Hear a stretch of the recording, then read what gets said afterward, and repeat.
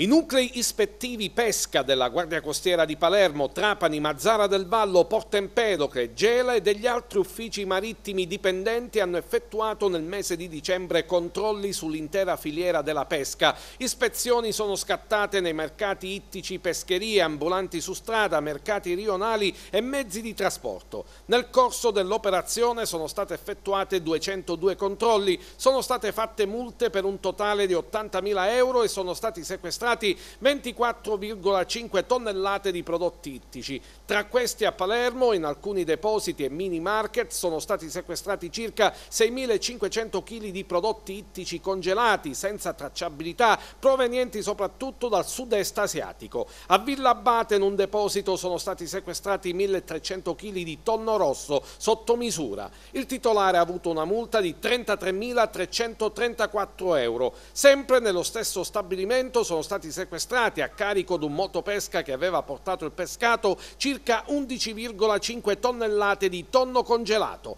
A Marsala sono stati sequestrati circa 1500 kg di prodotto ittico vario, di cui 800 kg ad un motopesca per effettuazione di attività di pesca a strascico nelle giornate festive. Infine, a Mazzara del Vallo sono stati sequestrati presso un deposito di prodotti ittici congelati circa 2200 kg di pescato privo di tracciabilità tracciabilità o scaduto, 10 tonnellate del pesce sequestrato dopo i controlli dei veterinari dell'ASP sono stati dati in beneficenza, 14 tonnellate sono state distrutte.